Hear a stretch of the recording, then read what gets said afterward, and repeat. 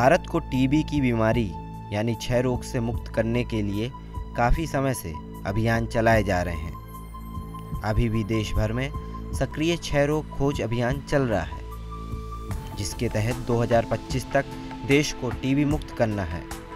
वहीं इसमें उपयोग की जाने वाली वैक्सीन में बदलाव किया गया है, जिसको लेकर राष्ट्रीय जलमा कुष्ठ रोग संस्थान के डायरेक्टर श्रीपाद ए पाटिल ने ईटीवी भारत से खास बातचीत की है।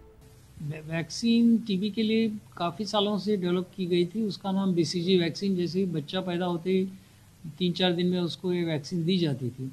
लेकिन बाद में इसका इफ़ेक्ट नहीं है। क्योंकि ये जो बीसीजी बैक्टीरिया है उसमें कुछ चेंजेस लाए कुछ आ, मतलब दूसरे जीन्स इसमें अगर डाल दें तो कैसा रहेगा?